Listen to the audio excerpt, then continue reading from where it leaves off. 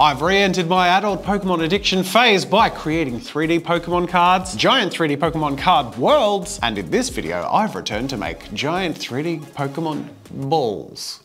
Ball worlds. This video is brought to you by Anycubic. Check out the Photon D2 DLP 3D printer or the Anycubic Kobra Go with a link in the description. More about them later in the video. But if I'm to prove myself as the Pokemon master I claim to be, I gotta move past generation one. I'm getting so much feedback that I'm like, dude, there are other Pokemon than Bulbasaur and Pikachu. Is it?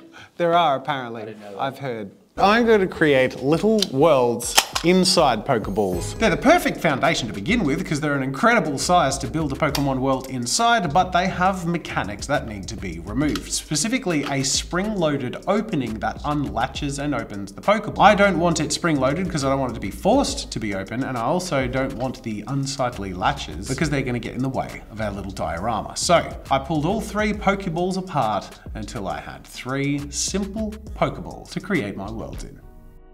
Turns out these Pokeballs make perfect foundations for my project. So of course using the handy laser cutter we have lying around, I measured the inside sphere and with a little bit of tweaking, got a shape that I could put in eventually with a white acrylic that I can paint later down the line for a nice horizon. Now mind you, I'm taking the easy route with all of this, but the more tenacious amongst us in the studio are actually working on their own Pokemon terrariums as I speak. And they ain't taking any shortcuts. They are hand sculpting their own Pokemon. I am, of course, talking about Tabletop Time. So go check out Tabletop Time's video after you watch this video where Dave Murray and Jen hand sculpt their own Pokemon and hand make their own Pokemon terrariums. But hey, I'm one man and I'm making three, so let's take some shortcuts, including 3D printing my Pokemon. The second generation starters, Chikorita, Cyndaquil, and Totodile. So let's start off with Chikorita, the leaf Pokemon. Chikorita emits pleasant smells from the leaves on their heads and enjoys sunbathing. That's the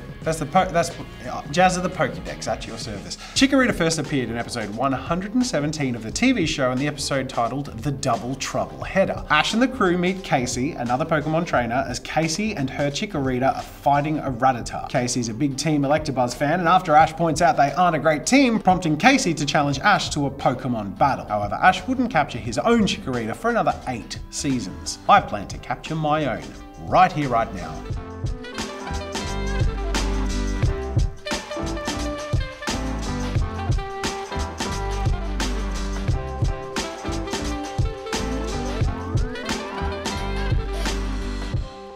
Using modeling compound, concrete coloring mixes, a little bit of Mod Podge, and of course some sand. With a bit of water, it all mixes together to the perfect earthy mix that I can then spread as neatly and flat as possible to create the perfect foundation of what will be beautiful, luscious, flowery fields for Chikorita to joyfully leap around in.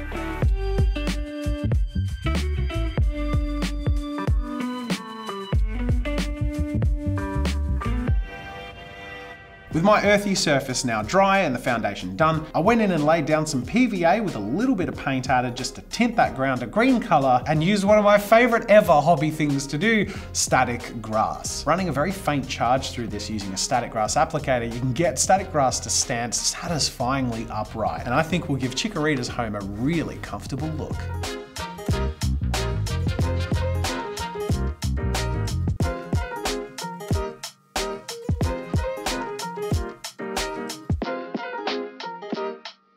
With the luscious fields laid down neatly, it was time to add a little bit of colour in the form of gamer's grass, specifically flower tufts, a little bush here or there, and a few laser cut plants just for variety. Then it was time to paint the skyline.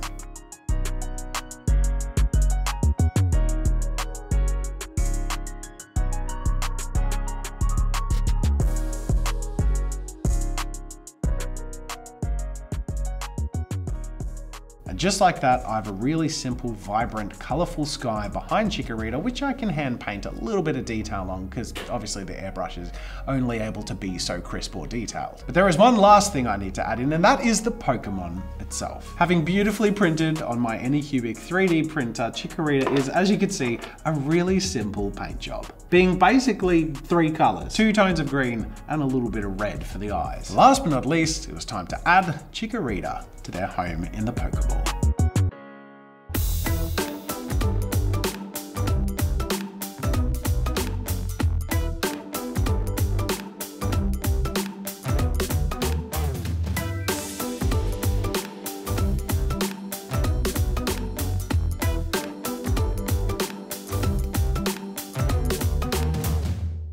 Now, if you're as satisfied with that result as I am, you'll be even more satisfied if you do it yourself, which it's easier than you think it is. Thanks to Anycubic and the technology of 3D printing, hobbyists can basically make their own toys at home with the click of a button. Introducing the brand new Anycubic Photon D2 the DLP 3D printer. Anycubic is bringing us industrial standard DLP printing to everyday consumer and 3D printing hobbyists. The Photon D2 boasts a screen life up to 10 times longer than a standard LCD printer. And a printer like the D2 is perfect for extremely high resolution, hand-sized hobby projects. But if you want to go bigger and lighter, perhaps you'd be thinking of getting a filament printer. You can now start with the Anycubic Kobra Go at a budget-friendly price of under $200. It mitigates any issues like power outages with the ability to continue prints after power drops. Go check out Anycubic's Photon D2 DLP 3D printer and the Anycubic Kobra Go linked in the description. Thank you to Anycubic for sponsoring this video. Now it's time to bring our next Pokemon to life. Next up, it's time to capture Cyndaquil. Cyndaquil, the fire mouse Pokemon, normally quite well-mannered and calm. However, Cyndaquil will shoot a scorching flame out of its butt when upset, out of its back. Sorry, I misread that. First appearing in episode 141 of the TV show in the episode Good Quill Hunting, in which Ash is in a race with his fellow Pokemon trainer Koji to capture a Cyndaquil they find. When Ash successfully captures Cyndaquil, Koji challenges him to a battle for Cyndaquil. Ash wins the battle, but Koji isn't giving up and attempts to catch Ash's Cyndaquil with a net. Cyndaquil is having none of it, of course, and Koji runs away, only mildly singed. So it's time to create Cyndaquil's world in my little Pokeball. The same starting process, of course, prepping the skyline, which I can then remove and paint later, and the base. Now, I want to make a point of difference for each of these Pokemon. Even though their appearances in the shows and on their Pokemon cards, they're usually in pretty similar environments, grassy and lush. So for Cyndaquil, as you can see, I've used sort of a, a similar compound mix, but this time with a bit of a gravelly ballast instead of a sand, and I've mixed in black paint instead of concrete coloring. This, when it's dry, as you can see, ends up with a bit of an asphalt effect, which I think looks pretty cool. The idea behind this could be that he's on the road where people are traveling on their Pokemon journeys. I added a little bit of an earthy color and pigment powders to this just to pull it away from a flat black and gray. And where Chikorita's color scheme was sort of more on the vibrant green and colors, I thought Cyndaquil could still be surrounded by nature, but in this case, drier grass and areas that maybe have been a little bit burned by its back. I want to add a pop of color here or there, of course, but I'm trying to accentuate the fire type element of Cyndaquil. So by using yellower grass and drier looking tufts, and then when I move on to the skyline, going for more of a sunset vibe with vibrant oranges and yellows, I think will really emphasize the fire type element of Cyndaquil.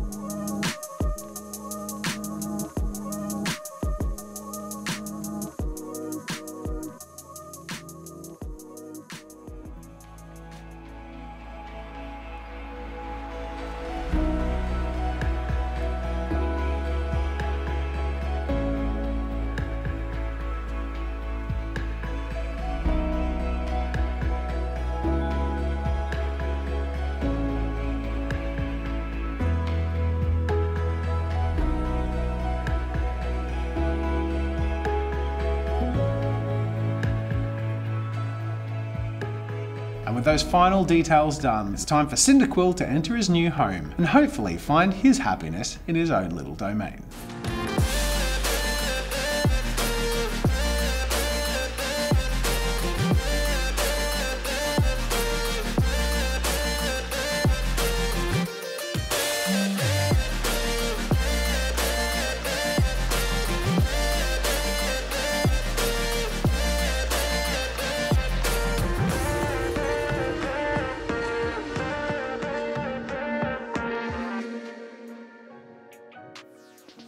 Whatever you're doing. Wait, what are you what are you doing? You're watching this video. Don't stop watching this video.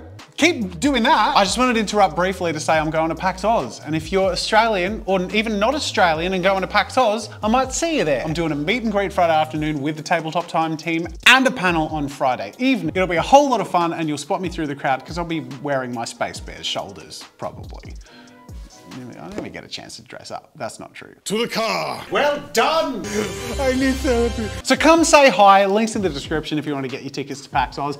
Uh, back to the video. It's totally time for Totodile, the big jaw Pokemon. Totodile has strong jaws that can crush just about anything. Trainers, beware, this Pokemon loves to use its teeth. First appearing in episode 151 of the TV episode The Totodile Duel, this episode sees Ash and Misty's friendship pushed to their limits as they both attempt to capture a Totodile at the same time, eventuating in a battle between Ash and Misty. Ash wins the match and gets his Totodile, however Misty is not left without her own prize, as her Poliwag evolves into Poliwhirl. Now my Totodile is not going to leave empty-handed in this video because I'm going to make him a lovely home. Again, leaning in early to a visual point of difference, I cut the inner foam for the Pokeball on an angle to create enough room below for what will eventually become a resin pour, because I want more than half of Totodile's Pokeball to be a lovely lake. And in fact, in the picture I was using as a reference for Totodile, he's on this great little rock in the middle of a body of water, which is perfect because I have these little rock offcuts from the Mordor build I did a couple of months ago, one of which I grabbed, broke up, put in the center of my recently muddied area, and then with a little bit of Mod Podge, sprinkled around some sand for what would be the bed of my river, which of course has the rock that Totodile will stand on.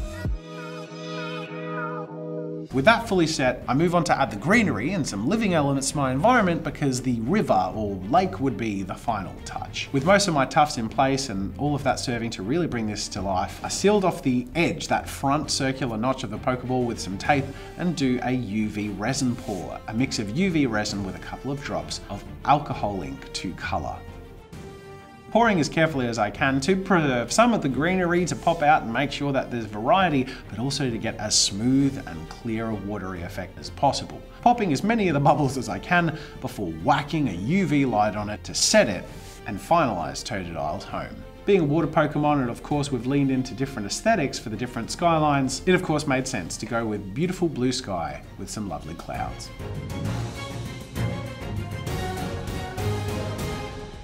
These 3D printed characters are so satisfying to paint and really simple. I did get them just from Googling, just for some 3D printed Pokemon files. They were a couple of bucks each from an independent sculptor, who I won't bring attention to because I'm not sure they're personally affiliated with the Pokemon company. But whoever made these sculpts, thank you very much. And to all independent sculptors out there who make cool stuff for people to 3D print at home, thank you, because it's such a fun hobby and it's so cool. There's so much out there to bring to life. And with the technology of something like 3D printers, it's as easy now now to click print and turn it into a beautiful project as it could be in your imagination. It's amazing. We are living in the future that my childhood self would have dreamed of, enabling me to very easily bring projects like this to life.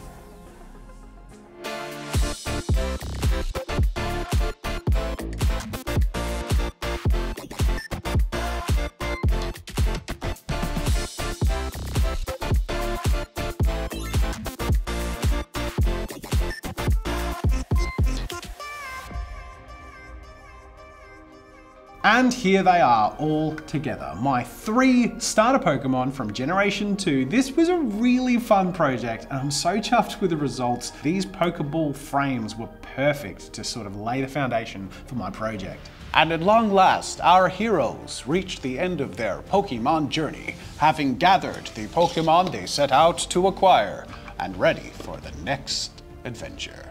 How was that? Did that feel Pokemon-y? That's good. Yeah. Oh, Jazza, really, is it over already? Unfortunately, the journey with me is. But fear not, I am not the only one in the studio who has made Pokemon terrariums. In fact, Tabletop Time has hand printed and sculpted three, and they're the latest. I'm playing catch up here. I'm on Generation 2. They have created the starters from the soon to be released Pokemon game. It's gonna give you just like a hint of this gravity defying one, but you're gonna actually have to go over to Tabletop Time to watch the whole video because they made amazing creations and they're very, very talented and very, very cool. Don't tell Dave. that I called him cool. Can you edit it out? So that's over there for you to enjoy. I'll link that in the description under the card. Otherwise, that is it for this video. Thank you for watching and joining me on my Pokemon journey. Uh, as a mid-30s dad who's reawakening to his childhood self and very excited about tax-deductible Pokemon cards, which is the way adults enjoy Pokemon. Like and subscribe.